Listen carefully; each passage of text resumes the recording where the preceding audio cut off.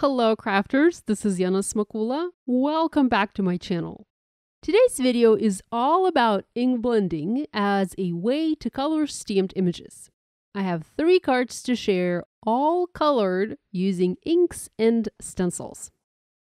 At the beginning of this year, Pretty Pink Posh came out with a clever new product, stencils that match previously released stamp sets.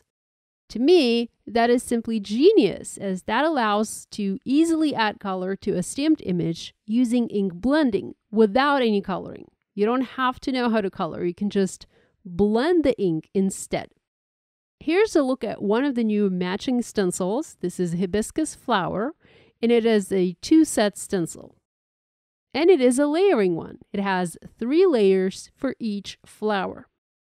The stencil coordinates perfectly with the stamps in the hibiscus stamp set and the hibiscus coordinating dies, and these were released last summer, if I'm not mistaken. So you have three products that work perfectly well together a stamp to stamp the image outline, a die to cut the shape out, and then a stencil to color that shape. Of course, each of these can be used on its own separately. You can use just the stencil to ink blend the shape or you can use just the stamp to stamp the image outline and then perhaps color it using your favorite coloring medium. Now, if you plan to use the stencil in conjunction with the stamp set and the die set, it is important to use the correct side of the stencil. Here is a, a panel I ink blended where I used the incorrect side of the stencil, and thus I wasn't able to stamp the image outline on top as the ink blended image was mirrored. To compare, here is another panel where I ink blended the leaves using the correct side of the stencil and was able to stamp the image outline over them. To identify the correct side of the stencil, you can look for the etching. The brand and the stencil name is etched on the stencil. So the etching will tell you that this is the correct side of your stencil. If you plan to use it with the stamps and dies, make sure you use the correct side. If you don't plan to use the matching stamps and dies, it doesn't really matter which side of the stencil you use. You can actually even use both. I've grown to really love these stencils as they allow me to easily create colorful images and even backgrounds. I love Monstera leaves. We had a very big Monstera plant when I was growing up and living with my mom. So I wanted to ink blend a Monstera leaf background for this card, and this stencil made it super easy. There are three leaves in this stencil. There's a large and a small Monstera leaf, and also a palm leaf. I ink blended all three to create my background.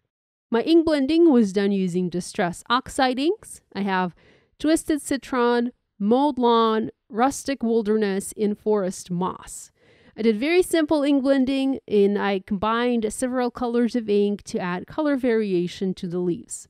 I also did the ink blending first and then stamped the black outline, but you can go in reverse order if you want. So you can stamp the outline first and ink blend later. It just all depends on what kinds of ink you're using. I prefer to do the ink blending first for several reasons. Mostly, I don't like to blend over the black outline with oxide inks as they dull the darkness a little bit. And the second reason, I prefer to stamp the outlines with VersaFine Onyx Black ink, and this particular type of ink needs a few minutes to dry. Since I am a very impatient person, there is always risk of smearing the ink when blending over it, so I simply ink blend first and then stamp later. I tried to make this background somewhat random by ink blending the leaves facing in different directions, using various shades of green, and grouping the leaves in different ways. With the ink blending done, I used my VersaFine Onyx Black ink and stamped the black outlines over the ink blended leaves. I intended to offset the stamping a little bit. In this way, I had a little bit of the white on each leaf, and that worked a lot like a highlight. And I, I very much like the offset look. It's very different if you try to match up the ink blending with the stamping. You certainly can, but I feel it looks better when the layers are offset. As I do the stamping, you can instantly begin to see the pattern change and transform, and it actually looks like a pre-printed piece. Very cool. Had I stamped the image outlines in black and used a coloring medium, such as alcohol markers, for example, this background would have taken me a very long time to finish. I love the simplicity with which I'm able to add color to these leaves using that stencil. Don't get me wrong, I do love to color. I love my alcohol markers and I love to spend time coloring, detail coloring an image, but sometimes using a stencil to quickly add color to something is just the best. Once I finished stamping this pattern, I trimmed it to 3 and 3 quarter inches by 5 inches and foam mounted it onto an A2 white side folding card base. To create a sentiment for this card and all of the cards I share in this video, I used two stamp sets from Pretty Pink Posh. The Butterfly Friends set, I heat embossed the word friend from here, and I embossed it in white on black cardstock and cut it out using a coordinating die. And then I paired it with the sentiments from the Simple Sentiments set, also from Pretty Pink Posh, and you can see how well it works with nearly all of the messages in this stamp set. Here's a look at this card once finished. It is super simple, but very colorful, all thanks to that fabulous ink blended background. Next, I ink blended several additional leaves onto white cardstock. I ink blended them all separately as I was planning to cut them out using the coordinating dies. I used the exact same colors of ink to blend the leaves. I similarly blended the flowers, but then I used a much lighter hand to apply much less ink to these images. I once again with, went with Distress Oxide inks and I used Spun Sugar, Kitsch Flamingo, and Picked Raspberry, as well as Squeeze Lemonade, Mustard Seed, and Wild Honey colors. I have found it is best to ink blend the second and the third flower layers after the image outlines have been stamped, as that helps to position these second and third layers correctly. Otherwise, I've discovered I've ink blended the layers completely incorrectly and actually messed up a couple of flowers. So here I stamped the outlines in black. I used the coordinating dies to cut them out. And now I can properly align the second layer and ink blend it as intended, making sure I'm not blending it in some odd place on the flower. The second layer is actually quite easy to align. So you align the main layer and then just slide the stencil over and that is how you align that second layer. I did try to offset the blending of the second layer as well to continue that overall offset look. And then I also ink blended the third layer in the same way. And look at these. Aren't they gorgeous? So easy to ink blend stunning florals for your cards with this stencil.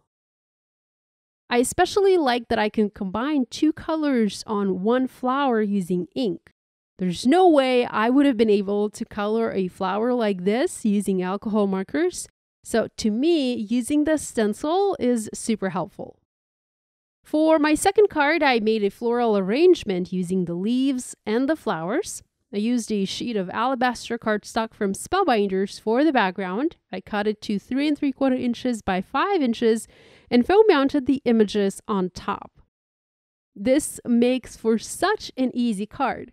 I also added the sentiment, the same one I used for the first card, and with that done, I foam mounted the panel onto an A2 white side folding card base. Lastly, I embellished this card with sparkling clear sequins I really love these to add a pop of sparkle to my projects. My last card for today features a dimensional stamped pattern using the same images.